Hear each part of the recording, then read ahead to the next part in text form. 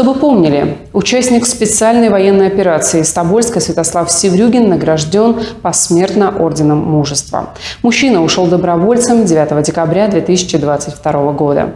Служил водителем, после отпуска вступил в должность наводчика парашютно-десантного взвода. Погиб Святослав Иванович при выполнении боевых задач 2 декабря 2023 года. Государственную награду за героя получали супруга и сын.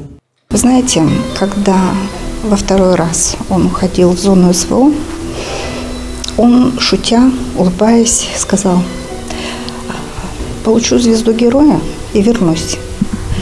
Вернусь с победой. Не вернулся. Знаете, для нас, для меня он герой. Он свято верил в то, что делает. Он понимал, что он делает, и по-другому поступить не может. Героями не рождаются, героями становятся в час испытаний. Свои испытания Святослав Севрюгин прошел достойно.